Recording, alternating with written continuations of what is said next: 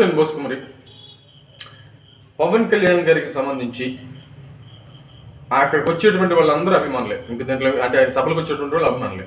కానీ కొంతమంది హీరో అనేటువంటి విధంగా చూడటానికి ఒక కనీసం చూడటానికి వచ్చేటువంటి వాళ్ళు కానీ లేదా ఏం చెప్తాడో విందామని చెప్పేసి వచ్చేటువంటి వాళ్ళు కానీ లేకపోతే ఇప్పుడున్నటువంటి పార్టీ మీద వ్యతిరేకంగా ఉండేటువంటి వాళ్ళు కానీ ఈ రెండు పార్టీలు చూసి చూసి అయిపోయింది. జనసేన పార్టీ కొత్తగా వచ్చింది కదా మరి ఏం ఏం చెప్తారు చూద్దామని వచ్చేటువంటి వాళ్ళు.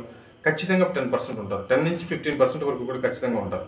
మిగతా ఎయిటీ ఎయిటీ ఫైవ్ పర్సెంట్ అభిమానులు ఉన్నారు మిగతా ఫిఫ్టీన్ పర్సెంట్ కంపల్సరీగా ఉంటారు. ఆ పదిహేను మందిని టార్గెట్ చేయడంలోనే అస్సలు జనసేన వ్యూహం దాగింది అనేది అందరికి అర్థమయ్యేటువంటి విషయం. ఈ పిల్లడికి కూడా తెలుసు. కాబట్టి కొంతమంది అవుతారు ఒక ఎయిటీ పర్సెంట్ నైంటీ పర్సెంట్ వరకు అభిమానులు ఉంటారు టెన్ పర్సెంట్ వరకు మిగతా వాళ్ళు ఉంటారు. వాళ్ళని ఆకర్షించడంలోనే అసలు విషయం అంతా ఉందనేటువంటి కోణంలో చెప్తారు.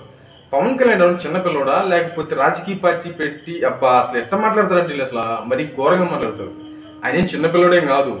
ఆయన సభలకి అంటే పూర్తి ప్రాక్టికల్గా ఉండేటువంటి మనిషి. పూర్తి ప్రాక్టికల్గా నిజాయితీ ఉండేటువంటి మనిషి.